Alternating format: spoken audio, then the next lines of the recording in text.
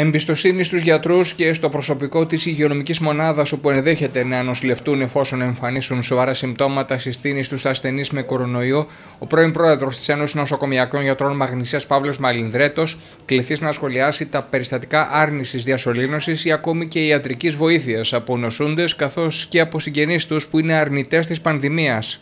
Έχουμε εμπιστοσύνη στους οικογενειακούς μας γιατρούς και από εκεί και πέρα εκείνοι θα κρίνουν πότε χρειάζεται να πάμε στο νοσοκομείο.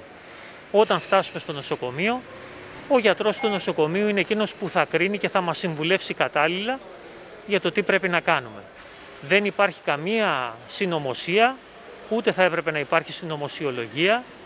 Δεν πιστεύω πως υπάρχει καμία κυβέρνηση που θα ήθελε να δυσχεραίνει το έργο και τη ζωή των συμπολιτών μας ή τη δική μας. Ο γιατρός είναι πιστός στον όρκο του και θα κάνει ό,τι είναι δυνατό για να βοηθήσει τον ασθενή του, επισημαίνει ο κύριος Μαλινδρέτος. Από τη στιγμή που ένας ασθενής απευθύνεται σε εσένα, όσο διάστημα βρίσκεται κάτω από τη δική σου ευθύνη, είσαι υποχρεωμένος να κάνεις ό,τι μπορείς και ό,τι περνάει από το χέρι σου για να τον κρατήσεις στη ζωή και να τον βοηθήσεις.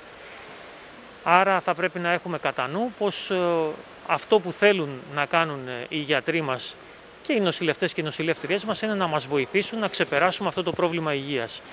Δεν υπάρχει κάτι συνωμοσιολογικό στο αν θα χρειαστούμε να πάμε στην εντατική, αν μας συμβουλεύσουν εμάς ή τους συγγενείς μας ότι κάτι τέτοιο πρέπει να γίνει, το καλύτερο που έχουμε να κάνουμε και το λιγότερο που μπορούμε να κάνουμε είναι να αφήσουμε το υγειονομικό προσωπικό να κάνει τη δουλειά του χωρίς καθυστέρηση. Ο πρώην πρόεδρος των νοσοκομιακών γιατρών Μαγνησίας στέλνει επίσης ξεκάθαρο μήνυμα στους ανεμβολίε τους υγειονομικούς που τέθηκαν από την περασμένη εβδομάδα σε αναστολή εργασίας. Το νοσοκομείο θα συνεχίσει να λειτουργεί. Θα είναι πιο μεγάλο το βάρος σε αυτούς που έμειναν πίσω, ενδεχομένως. Ε, ναι.